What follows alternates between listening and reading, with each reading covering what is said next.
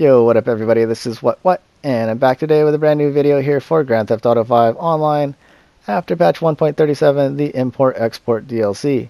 Now for today's video, I'm going to go ahead and show you a super simple way on how to save the super rare CEO outfit called the El Jefe, which you can see me wearing here in today's video. Now this is a completely solo glitch, does not require any friends or anything like that to help you out, so let's get right into the glitch. Now, the first thing you want to do is you want to load into a public lobby. It's the only place you could register as a CEO. So load in, register as a CEO, then you're going to pull up your interaction menu and select the SecuroServ CEO tab.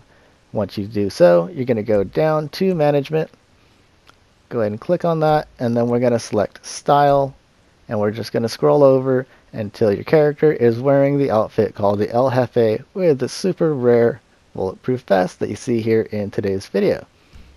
So once you do so, all you need to do is actually queue up a mission to get this glitch started. So just go ahead and we're going to pull up the uh, options menu. And as always, we're going to select any mission. So just go ahead and hit options, online, select jobs, play job, Rockstar created, go down to missions, and just select any mission.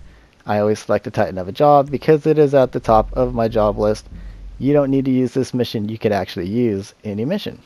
So, once you load into the mission lobby, do not need to invite anybody, just go ahead and confirm the settings and let's go ahead and launch the job. Now real quick here, you're going to want to make your way over to a clothing store. Okay, this is a real important step because it will be required once you quit out of the mission and load back into a public lobby. So you can go ahead and start off in a clothing store or during the mission you want to head on over to a clothing store. This is a real important step so make sure you are close to a clothing store. Once you do so you want to go ahead and just pull up your phone and just quit out of the mission. When you quit out of the mission it's going to actually put you up in the clouds of course like normal and once you uh, are out of the clouds it's going to drop you back into a public lobby. As you notice here, I am in my free roam outfit. Now, when you load into a mission, you can't load in in the CEO outfit, so it will default to your free roam outfit, but do not worry.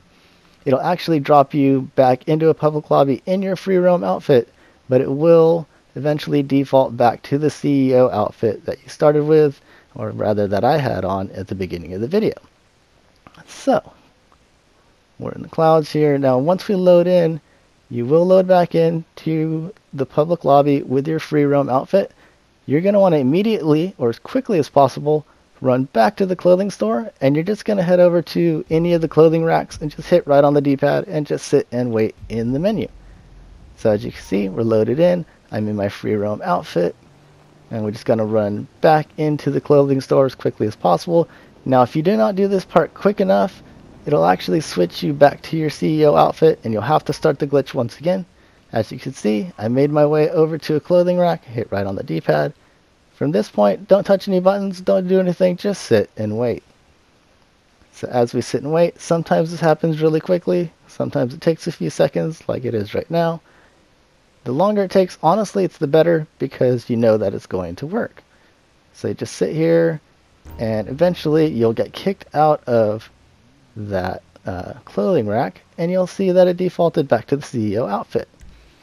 Once you do that, just pull up your interaction menu, go back to SecuroServ, Management, and Style, and you want to scroll back to the left until you are on outfit that says None, and you'll notice that even though it's on None, which means you should be in your free roam outfit, you're actually in fact wearing the super rare CEO El Jefe outfit. So just go ahead and head on over and save this super rare CEO outfit. From this point, you can make the outfit your own, modify it up. The only thing you cannot do is change the top, but you can change every other clothing item on this outfit. But that's it for today's video. Thank you all for watching. Thanks for stopping by once again. Make sure you definitely drop a like, subscribe to my channel if you don't already. But thanks again for stopping by, and we hope to see you all next time.